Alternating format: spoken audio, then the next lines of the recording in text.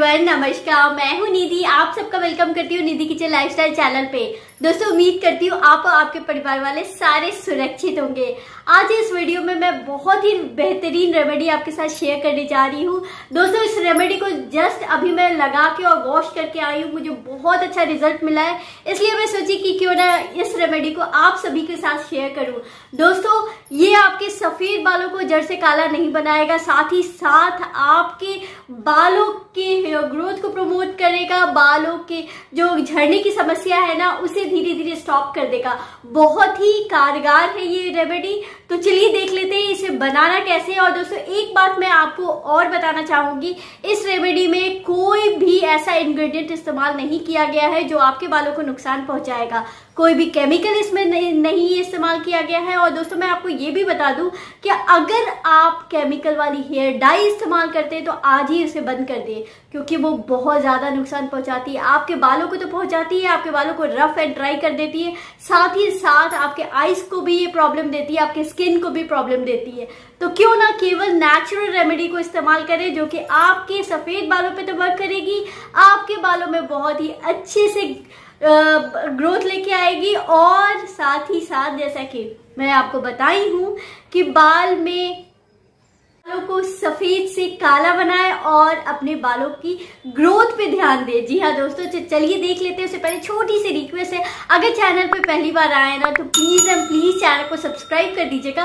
पास ही दिखेगा, एक छोटा सा बेल बटन उसे दबाना ना भूलिएगा, ताकि आने वाले वीडियोस की नोटिफिकेशन आप तक आती रहेगी। वीडियो अगर हेल्पफुल लगती है तो वीडियो को लाइक कीजिएगा, ज़्यादा से ज़्यादा शेयर कीजिएगा। तो सबसे पहले तो आप देख लिए मेरे बाल जो है ना वो बहुत ज़्यादा सफ़ेद हो गए थे और बिल्कुल ये ब्लैक में चेंज हो गए क्योंकि इस रेमेडी को मैं आपको बता दूँ, मैं 15 डेज़ से इस्तेमाल कर रही हूँ मुझे बहुत अच्छा रिज़ल्ट मिला। आज भी मैं इसे इस्तेमाल की हूँ और ये मुझे मतलब मेरे दिल को खुश कर दिया है, इसलिए मैं आप लोगों के साथ शेयर कर रही हूँ। तो चलिए देख लेते हैं इस रेमेडी को बनाना कैसे लेट्स गो स्टार्टेड इसे बनाने के लिए आपको एक क्लीन बाउल ले लेना है यहाँ पे लोहे का बर्तन हमें नहीं चाहिए। सबसे पहले आपको लेना है नील पत्ती पाउडर, यानी कि इंडिगो पाउडर। ईज़िली मार्केट में अवेलेबल है दोस्तों, आप वहाँ से ले सकते हैं। ये उसी तरह काम करता है जैसे कि मेहंदी, जैसे कि हीना काम करता है।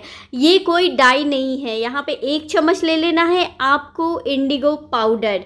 नेक्स्ट मैं यहाँ पे ले रही हूँ जटा मानसी पाउडर आपको बहुत बार मैं अपने वीडियो में शेयर कर चुकी हूँ जटा मानसी पाउडर के रेमेडी और मैं अप्लाई करके भी दिखाई हूँ। ये बालों को जड़ से काला बनाने में हेल्प करता है, साथ ही साथ बालों को मज़बूत बनाता है।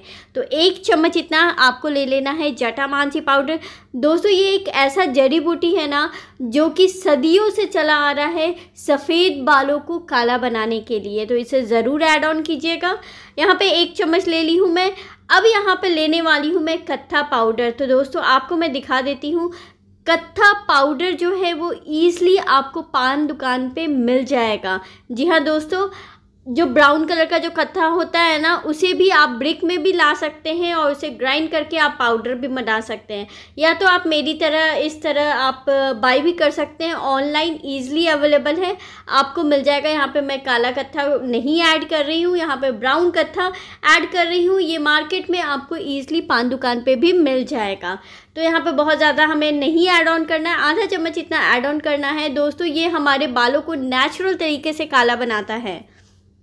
अब यहाँ पे हमें ऐड करना है अपना फेवरेट रेगुलर शैम्पू जी हाँ दोस्तों, जो भी आप शैम्पू इस्तेमाल करते हैं, अपने बालों को वॉश करने के लिए बस वही यहाँ पे ऐड ऑन करना है आपको एक चम्मच इतना।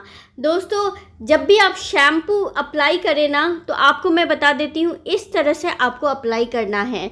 बस एक चम्मच इतना आपको शैम्पू ऐड ऑन करना है, इन सबको अच्छी तरह से मिक्स करना है।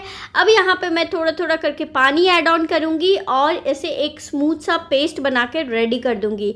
दोस्तों, ये जो पेस्ट है ना, इसे आपको नहाने के पहले एक से डेढ़ घंटे पहले अपने बालों पर अच्छी तरह से अप्लाई कर लेना है। उसके एक घंटे के बाद आपको नॉर्मल पानी से अपने बालों को वॉश कर लेना है। बहुत ज़्यादा सफ़ेद बाल है ना तो हफ़्ते में तीन बार इसे ज़रूर अप्लाई कीजिएगा।